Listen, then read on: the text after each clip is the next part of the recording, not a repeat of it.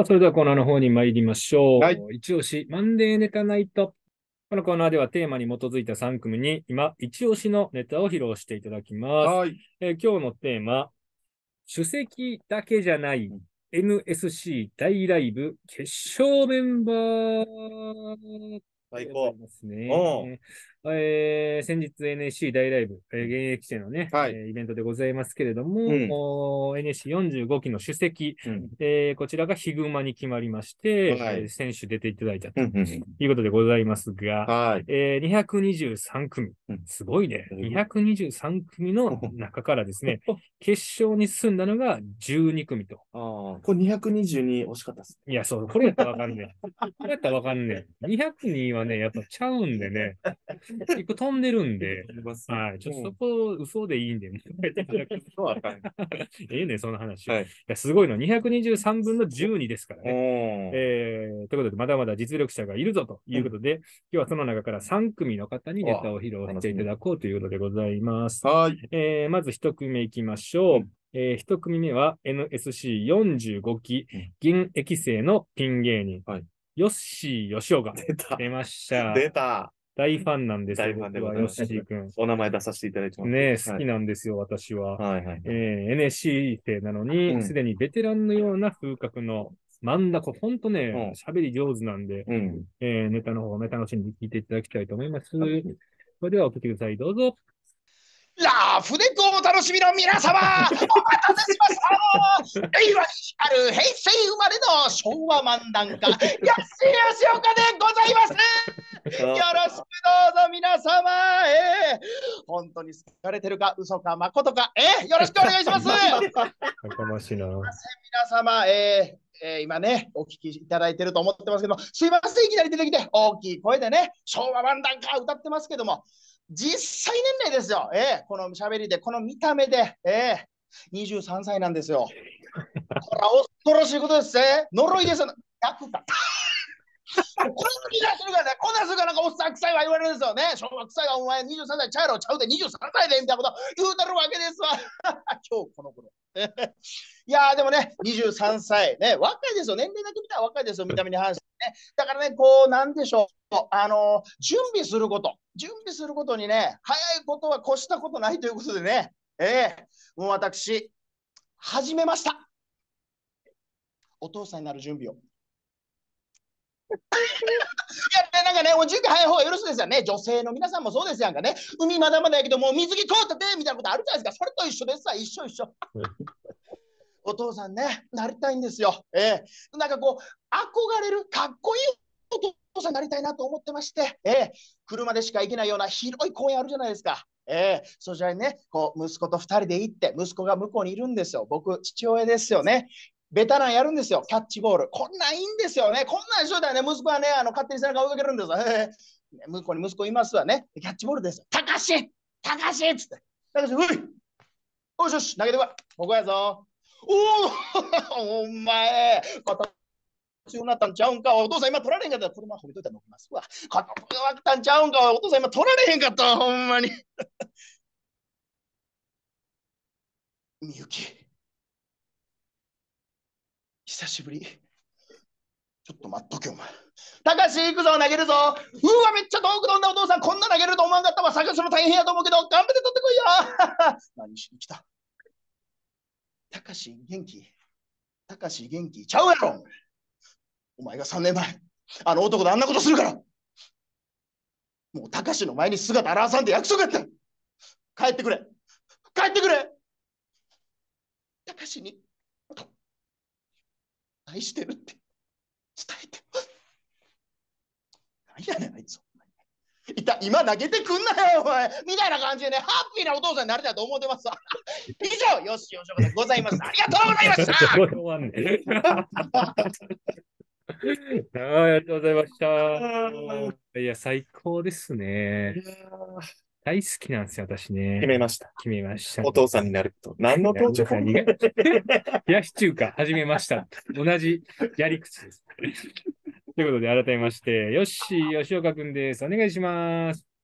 お願いします。いやうー、ん最高やな、相変わらず。ねいえ、めっそうもございません。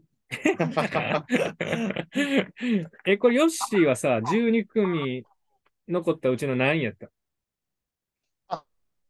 えっ、と、最終結果は、えー、12組中11位でございました。ああ、でも233分の11やもんな。そうです。すげえ、これピン、しかもピンでピンでってヨッシーだけ？そうですね。ピンで38で喋りだけ僕です。いや、これ僕だけほんま、西の安倍浩二さんみたいになれそうよな、ほんまに。確かに。さようでございますか。いやいやようでございますか？レストランかなんか来てんの？あ、そうです。なんかね、直帰みたいなの着させてもろて。や、はいそこじゃ。喋り方の方言 うレストの方で言ってないから。23も逆のやつもね。いやー、いいよな。仕上がってるわ。どうですか？でも実際、NSC1 年行ってみて。はい。あ、そうですね。あの、本当に内容の濃い1年間だったなと思います。思い返してみれば、6月ラッシュ、バルセイさんに担当していただいてうん、いろいろ呼んでもらって、上位も入って、ね、来たるべき1月ラッシュ、呼んでもらえなくて、あ、もう捨てられたなって思ってました。いやいや、ええよ、ええよ。もう一旦、一旦普通のヨッシーでいいから。うんまだ漫談モードのヨッシーのスイッチ入ってるからさ。うん いや、え、もともと23ってことは大卒？はい、そうです。大学卒業して、えーこちらに入りました。差し支えなければどちらの大学やったんですか？あ、えっ、と、関西外国語大学を。あーそうご両親は反対されへんかった？いえ、もう逆に行ったら行っちゃうかみたいな感じで背中を押してくれましたね。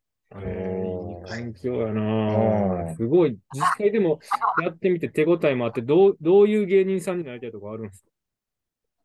そうですね。やっぱりこう、うんとこの NSC45 期で、キャラの濃いピン芸人としてはこう1年間頑張り続けてこれたので、ここからまた、あの先輩方のいる世界で負けないように、あのピンで負けないようにか、コンビかはちょっとまたそれはさておきで。頑張っていけなるほど。コンビでやりたいのもちょっとあるんだ。やっぱりそうですね、漫談やってるのも漫才がちょっと憧れがあるので、ちょっと似たようなのをしてごまかしてるところ。なるほど。じゃあ、うんそうです。なんか特技みたいな、なんかそれこそさ、令和っぽいものをなんか昭和に変えるみたいなとか、なんかテレビとかでもいけそうやけどな。あそうですね、ちょっとそんなので今、ものすごい考えてまして、ややっぱり時はあった方がいいなと思いまして。ちょっとスマホ、スマホ昭和っぽくしてみて。スマホ昭和っぽいですか？えー、わかりました。えー、スマホ昭和っぽく。でけでんでんでんでんでんでんでん。そん行き過ぎ、行き過ぎ行き。過ぎやし。じゃじゃじゃ拍手や。なんか黒電話とかなんかそれ、それぐらいのやつかなと思ったから。すみません、フォルムから言ってしまいました。なんか、ドゥンドゥンドゥンドゥンとかもなんか、俺がなんかお前にやれって言ったみたいやから。ありもんみたいな無茶ぶりやったけど、ちゃんとおもろかあ、った。できるなとかじゃなくなんかそんなんいっぱいストック持ってたらうね。ん。なんかよよそ良さげですよね。うん、面白かったな。ありがとうございます。もうなんかわかんけど、汗で顔テカテカなんだけはわかるもん。23のテカリじゃないですもん。いや、いいね。うんじゃあ、えっと、あれか。なんかあれ、もう一個あんねんな。そコングラチュレーションみたいなのあったよね、NSC の。なんかライブみたいな。はい、そうです。それ、それは、出んのよし？はい、えっ、と、出演させていただける予定ですね。はい。うん楽しみやな。出演させていただける予定。です出ますとかじゃない。出ます出し出してくださいよとかじゃない。うん謙虚なのよ、よしは。社会人経験してないのいや、。そうやねんな。いいよな。もう逆だ、衣装とかもほんま振り切ってもいいんかもしれんけどな。ああね。うん。ちょっとだけ地味やもんね。そうやな。まあでもこれ難しいな。こんじゃけに。行き過ぎてもな、うん。チープに見えるっていうところもあるから。髪型はもうこれ完璧でし髪型完璧やね。ょ。落語家さんみたいな。ネタ見せの講師の方にも100点やって言ってもらいました。100点やな、ほんまに。うん。なんてオーダーするの、その髪型は。いや、もう僕は、あれですよ、そんな特殊なこと言わんと、もうナウ開示でやったってやっていう。や。いいねそういうの。そういう昭和の返し。いいそういうのいっぱい持ってたら多分よし、すぐテレビ呼ばれんじゃん。もううわぁ、やりましたね、これは。そ、そこがな、うんやりましたね、それは。そこも昭和で返してくれた。最高やった。いや、俺大ファンやから、もうちょっとうんほんまぜひ、いいですね。またライブとかでご一緒させてください。うんあ、もちろんです。よろしくお願いします。ありがとう、よし。またまた。はい。またな、ごめんよし。ありがとう。はい。よしよしおかでございました。はい、ありがとう。僕好きなんですよね。やがってるななんか思ってる7倍ぐらい謙虚やったね。そうなんです僕らが一発目、6月でしたっけ？ラッシュね。その時からこのキャラクターでやっていや、すごいやし、いやより仕上がってる。あうん、だからもう、今日はちょっとよし、好きがゆえに、もう平場までも求めてしまった。そう。あ。はいはいはい。いやー、いいですね。返しますね。東京行くまでにちょっとよヨッシーに会いたいよね。ああ、飯食い。飯食い。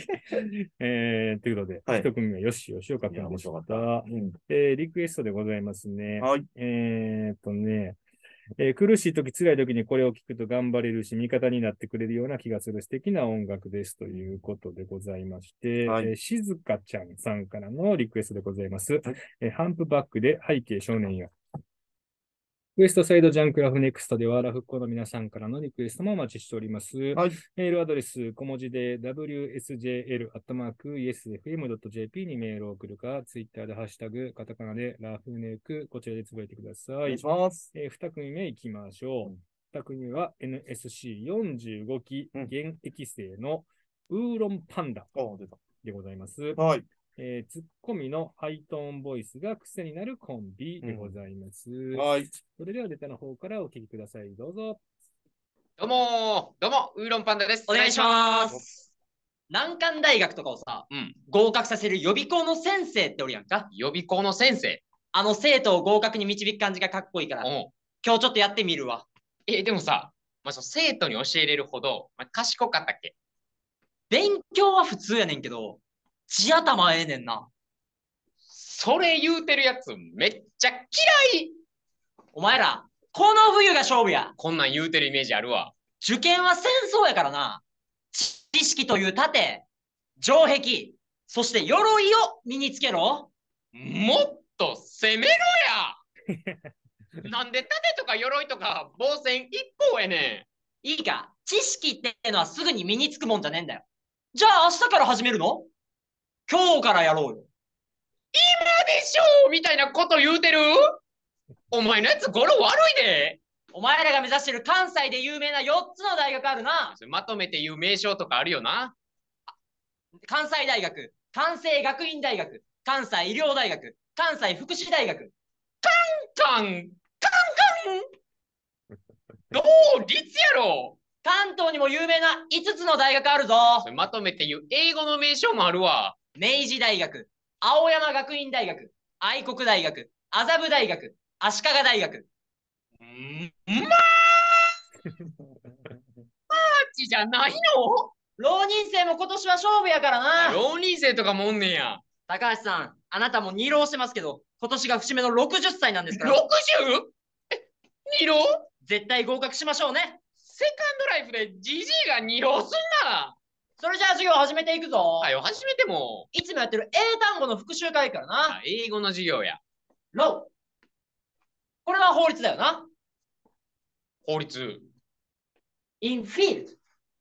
内野。内野？コンプライアンス。守らなあかんもんばっかり教えてる。お前の守備的な悪いとこ出てるで。おい、そこのお前ノート書いてんな！ええやん。なんでそんな怖い言い方すんの？英単語は大事だからな。ほんで、黒板ちっちゃない？一単語分しか書かれへんやん。おい、全員起きろ！全員寝てんの？おい、二郎じじも起きろ！お前ら、受験は戦争やぞ！気合い入れ直して。知識という毒や。落とし穴。そして闇討ちを仕掛けろ嫌な戦い方生徒カンニングしてもうて絶対全員で合格するぞできるかもうええわ。どうもありがとうございました。はい、お疲れ様でした。完璧じゃないですか、先生。いやー、ハイトーンボイスってね、こう言われてますけど、ボケもカカカカッといや、そう、テンポよくね、あ小気味よくやってくれ面たということで。はい。さあ、改めまして、ウーロンパンダのお二人です。お願いします。お願いします。いやー、もう、言うことがないですね、もうね。もう、ただ、ただただあと10分ぐらい聞きたかったですずね。ーっと見れるかもしれうない。ん、面白い、本当に。うん。ウーロンパンダはもともとお二人はお友達とかですか？いえ、NSC で出会いました。おーおお。その、もともとじゃあ、お二人なんかされたりしたんですか？あ僕の方は大学に通っていまして、あうんのそこで大学お笑いをやっていました。なるほでど、なるほどここでお笑いをやってました。もともとやってたパターンない。はいそうですね。だやってた時に面識とかはなくて、NSC で組んだっていう感じです。えー、そのファーストインプレッションとか第一印象はどんな感じだったんですか？僕、まあ、最初は別のコンビ組んでて、あのうん同じクラスだったんですよ。し慎太郎って言うんですけど、慎太郎が同じクラスで、で、ネタ見せであの別のコンビで慎太郎を初めて見たんですけど、これは奇跡の人物だなと思いました見た瞬間に。最高の褒め言葉よ。なんか声めっちゃいいなって、その時の第一印象は思ってました。そうああ、じゃあもうちょっと、こいつと組んだらいけるっていう感じがもう分かったんや。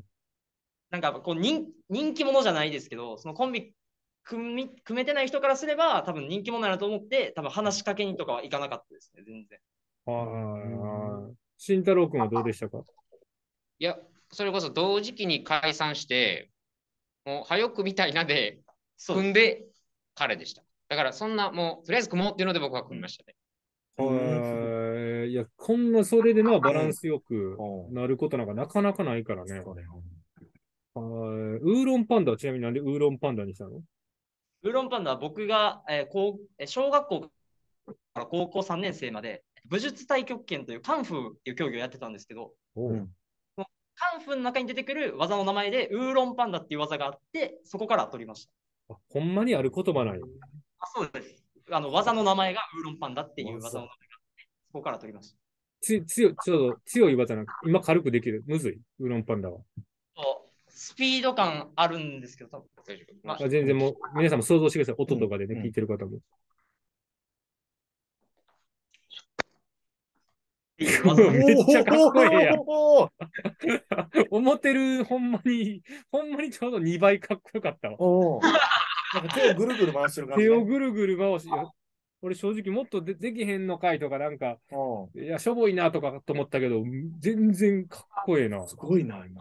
代表候補まで行かせていただいて、すごいんです。ガチ勢なんだ。ガチ勢です。カンフーガチ勢です。カンフーガチ。勢です。珍しいな。カンフーのガチで。いや、でも仕事来るかもしらんからね、そういう大会とか仕事ね。ほんまにすごかった。はーい。でも、慎太郎からしたらさ、知らんわけやん。急にウーロンパンダって言われて、どうやった？いや、でもなんか可愛い、名前可愛かったんで、まあもうそれでいいかなっていう感じですね。あーあんまこう、ギスギスしないのがいいです。どっちも大人というかね。うん。でも、意外と年の差あるんですよ。そうね、大学と高卒やったらそうよね。5歳差なんで、19で、24なんですお前19か。よ。19ですか19です。お前振動やんけ。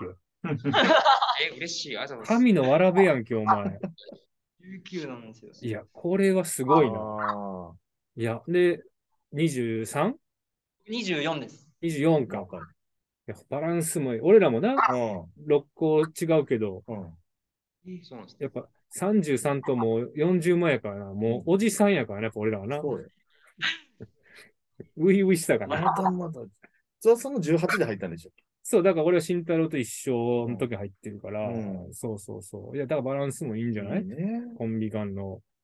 はあ。なんかこう、目標とする芸人さんとか、こうこんな仕事してみたいなとか、もう卒業したプロになるわけやけど、どうですか？僕、ロケしてみたいです。うん。おお、そうなんや。えめっちゃしてみたいですね。どういうロケ？いろんな街ブラとか、うん。か過酷系もあるしさ。商店街、商店街とかのロケとかしてみたいです。食べ歩きみたいなね。みたいな。いいね。はい話したいはいはい。はい。えー慎太郎は？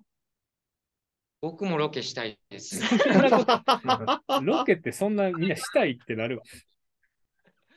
うんでなんかスタジオでな、見てる方がと思うけどな。裸デッサンモデルとかやりや。裸デッサンモデルでうん。12時間動いたらあかんとかやったやってみたら。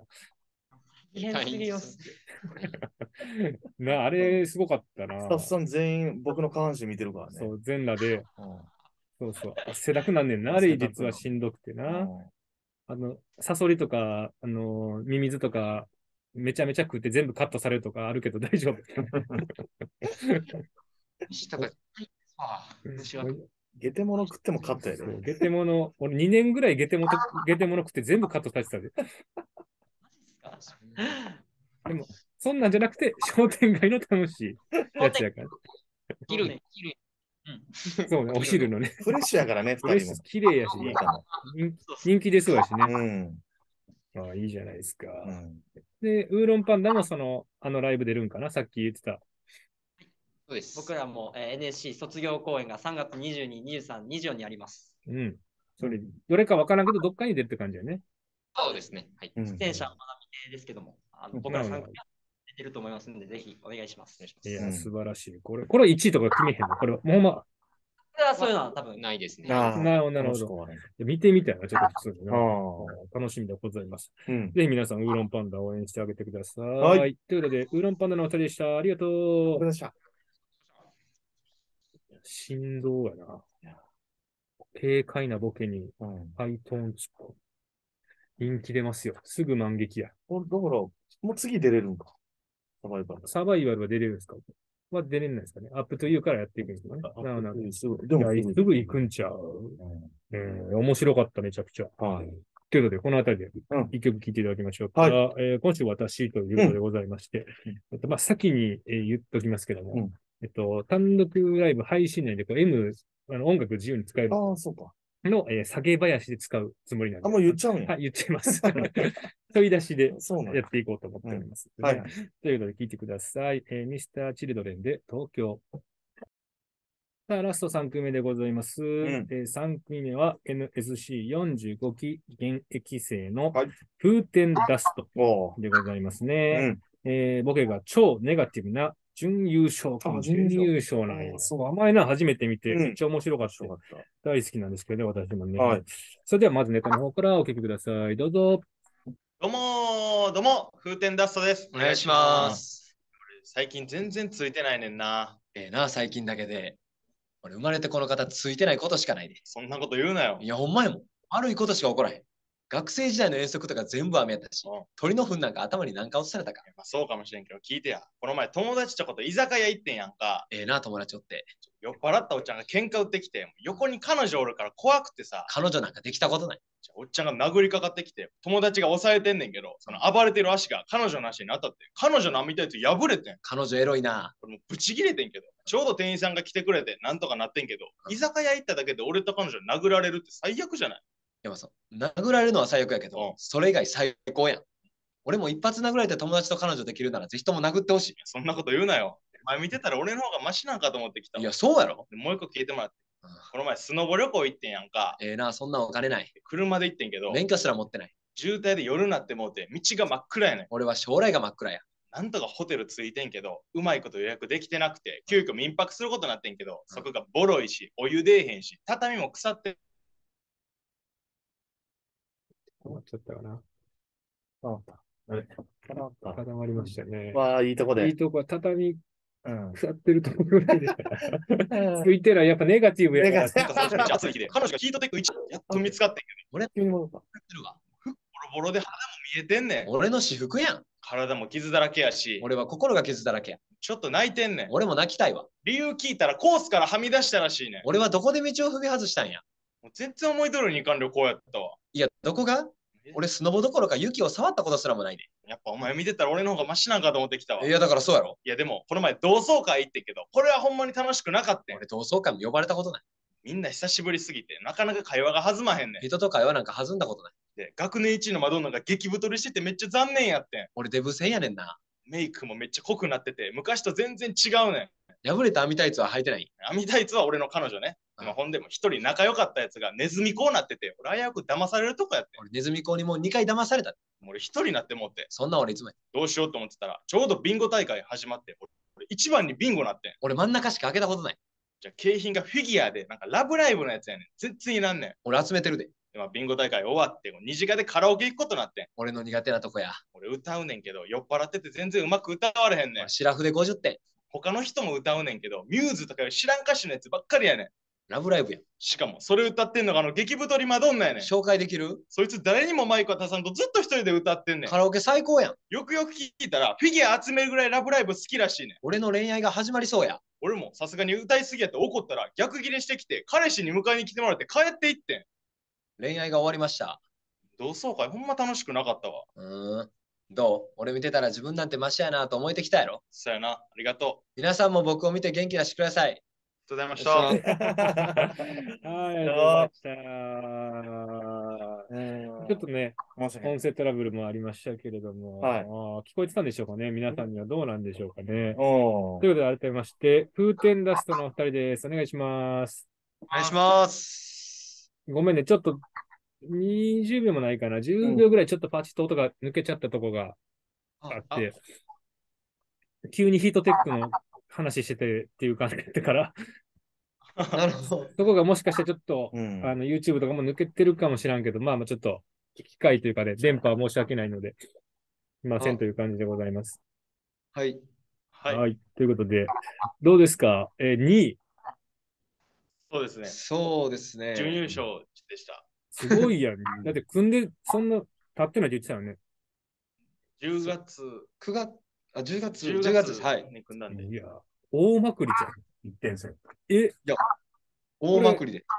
風天ダストしてるんですか？おし、わからない。風風天ダストはい。はい。1点差やってんて。ええ いや、そうなるよな。一緒ですか？決勝1点差やってんて。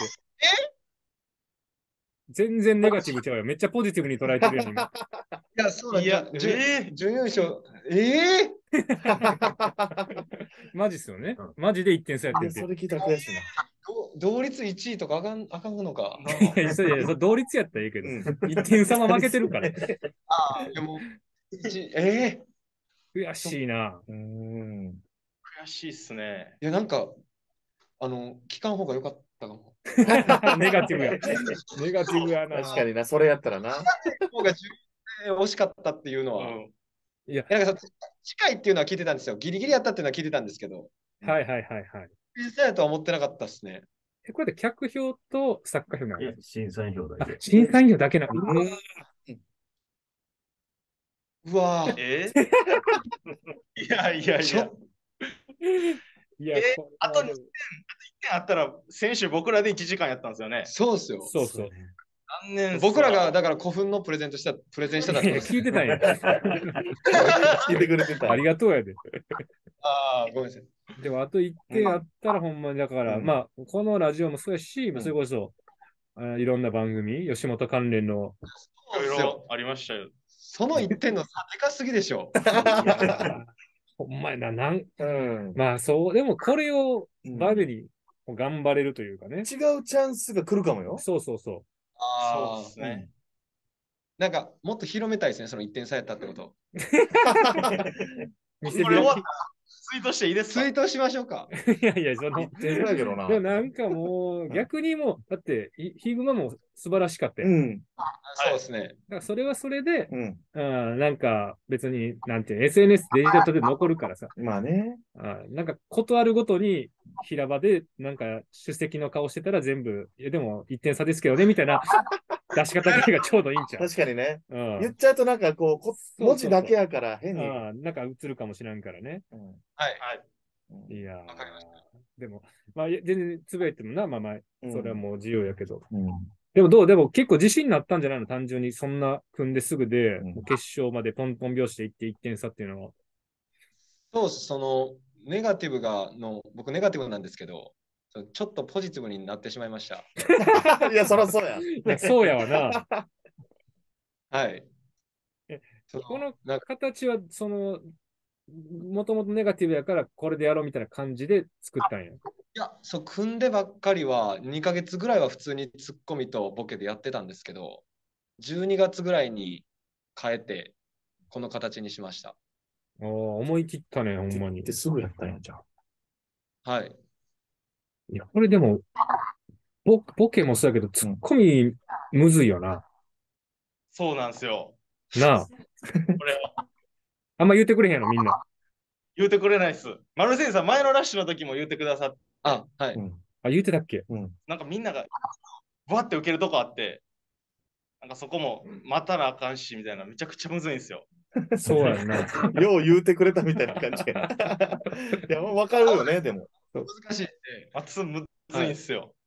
ピッチ作ってんのがツッコミやから、ポン、ポン、ポンで入ってきて、ポンって入ってきて、ポンで入ってきてやから、うん意外とこのツッコミ側がリズム話作っていくから、こうむむずいのよ、このタイプ。いや、そうもなんですう、よ。ちょっと1点差と同時にそれも一回いっぱいツイートしていこう、ほんまに。なんで全部 SNS に投げたいねん、お前ら。多すぎますわ。うん、すごいけどいな。や、いやすごい優勝。こと、準優勝ってまずすごいことやからね。うん。準優勝得点なないですか？うんないんや。あ、えあの、サバステ、そうですねサバステ、サバステな？いける？いや、もうだから仕上げ倒して、もはいう一気に行ったら、ね、劇場入ったら別に NSC の優勝とか準優勝って関係ないからね。はい。そうですね。あんま納得いかんかった。